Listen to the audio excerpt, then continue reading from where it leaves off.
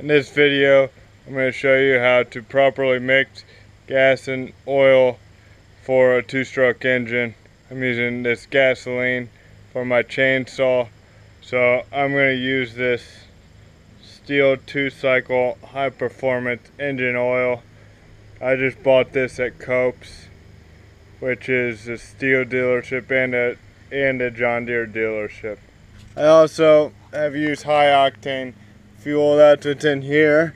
And then it's supposed to be a one gallon but it's a 1.25 gallon. This is you mix these with one gallon tank. So I drew a line on this uh, container to show where the one gallon line is. I always what I do is I always put the oil in first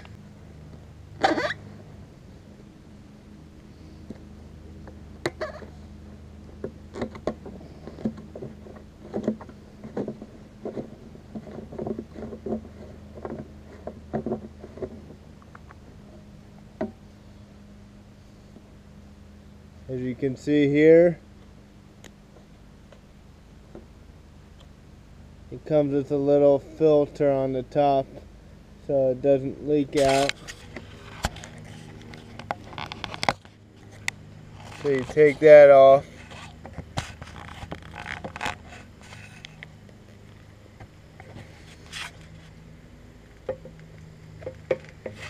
And you dump it in there. You can leave it there for a few seconds to drain the rest, the final drops out. And then since this is a 2.5 gallon can, I can get two fill ups from this thing. I've already done one and I'm sure there's enough for another one. So I'm gonna use this for a fill up.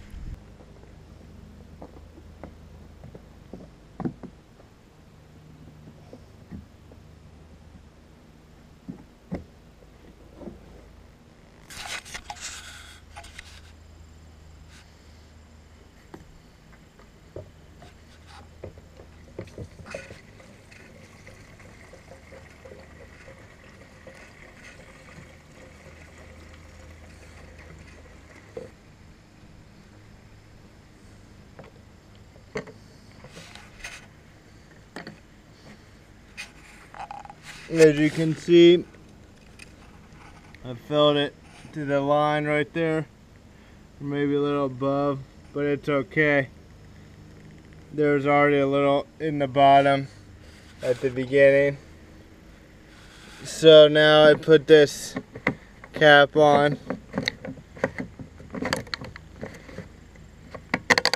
And before use, you're gonna wanna shake it because it doesn't mix well together. I mean, it does mix well together, but sometimes it needs an extra shake, similar to this.